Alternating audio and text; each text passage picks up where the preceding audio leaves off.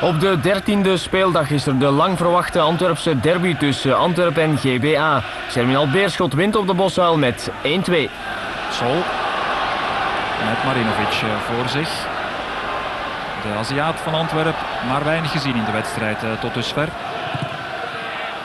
Patrick Goots met terug naar de goal. En knappe goal is dat. Herman kon op hem niet verdedigen. En kijk eens wat een ontlading bij Patrick Goots. Karjanis even vastgehouden door Van Britsum. Het voordeel is voor Germinal Beerschot. Den Haag, Doren. En nu is Parizek uitgekomen en dat is een strafschop natuurlijk. Het is iets voor Tony Herman tegen Parizek. Gelijkmaker. 1-1 Germinal Beerschot. De Grijze met de hoekschop die volgt. En daar is het doelpunt.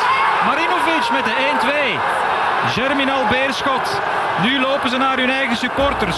De 550 die zijn meegekomen. En een koude douche voor Antwerpen.